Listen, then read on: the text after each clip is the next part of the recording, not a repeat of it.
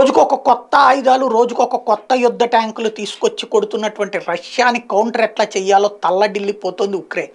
America Europe దేశాలు ఇస్తానన్నటువంటి యుద్ధ ట్యాంకులు రాలేదు. తమ దగ్గర ఉన్న యుద్ధ ట్యాంకులేమో నాశనం అయిపోతున్నాయి ఆ మధ్యన ఇచ్చినటువంటి పాత అడుగు పొడుగు చెత్తకి సంబంధించినటువంటి యుద్ధ ట్యాంకులను రిపేర్లు చేయించి వాడతంటే ఒక్క రష్యా దెబ్బతో సర్వనాశనం అయిపోతున్నాయి. రష్యానేమో కొత్త కొత్త ఎక్విప్మెంట్ తీస్తుంది. Russia is inching towards complete control of Donetsk with gains in Bakhmut and Uhledar as the battle for Donetsk intensifies the Russian army is now locating the Ukrainian stronghold and launching air assaults in one such operation Russia's deadly alligator was leashed on Ukrainians.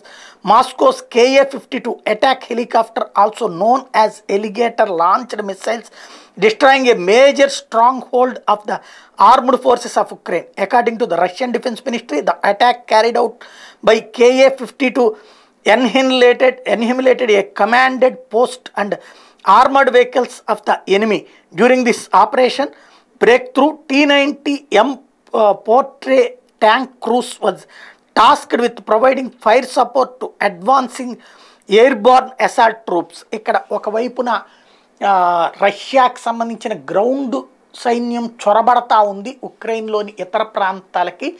అదే సందర్భంలో వాళ్ళని control చేయడానికి మిస్సైల్స్తో రెడీగా ఉన్నటువంటి Ukraine దళాల మీదన యుద్ధ విమానాలతో కాకుండా యుద్ధ హెలికాప్టర్లతో అటాక్ ప్రారంభించింది రష్యా.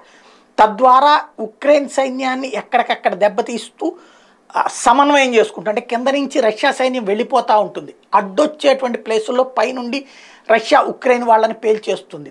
రెండు వైపులా దాడి జరుగుతుంటే ఎటు కంట్రోల్ చేసుకోవాలో తెలియక తల్లడిల్లిపోవడం అనేది ఉక్రెయిన్ వంతు అవుతుంది